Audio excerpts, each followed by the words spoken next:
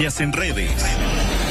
Netflix, Damien Eccles y Master of Puppets son las tendencias de este lunes y los tres casos se encuentran relacionados. En lo que se refiere a la plataforma de streaming, continúan sus problemas, pues aunque Stranger Things se ha convertido en la serie en inglés con el mayor número de visualizaciones, la expectativa por el estreno del volumen 2 de la temporada 4 provocó que Netflix colapsara varias ocasiones durante el fin de semana debido a la gran cantidad de fanáticos que querían ser los primeros en La segunda tendencia obedece a que la historia de Eddie Monson, personaje que hace su debut en Stranger Things, está inspirada en hechos reales. Damien Eccles se ha vuelto viral porque se recuerda el caso del joven que estuvo a punto de ser sentenciado a la pena de muerte tras haber sido acusado falsamente por la muerte de tres niños en 1993.